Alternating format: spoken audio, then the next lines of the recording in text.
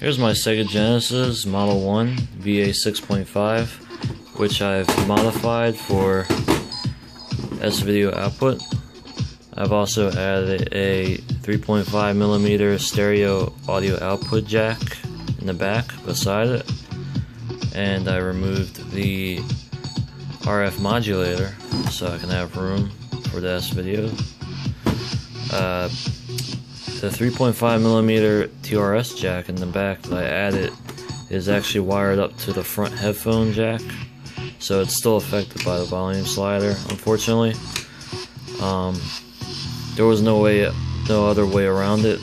I tried hooking it up directly to the YM2612 chip, but uh, the sound was just way too low for a line out, so I just went with the uh, front headphone jack.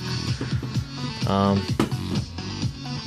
I've seen people add composite output onto it here also, but I don't see the point because uh, I'm only going to use S video. If I really need to use composite, I'll just use the uh, DIN port.